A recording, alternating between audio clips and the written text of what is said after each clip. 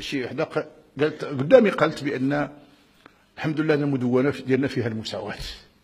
قلت عمرك ما شتي مدونة. لكن غير حكاو لك عليها وصافي. أنا المدونه أعرفها. انت؟ تقولي أنا أعرفها. لن تقبل امرأة بالمساواة في المدونة. المدونة فيها تكريم للمرأة. فيها أكبر من المساواة. المدونة تقول المدونة تقول حينما يقترن هذا الاجاب بالقبول تستحق المرأة الصداقة يدفعه الرجل ولا تلزم المرأة به.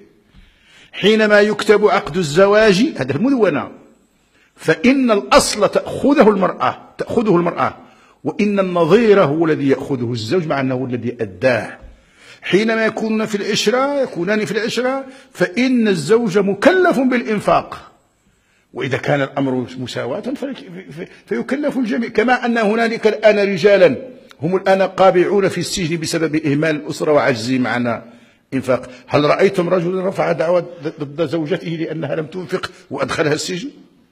وهل تقبل امرأة هذا هذه المساواة لو فعلناها؟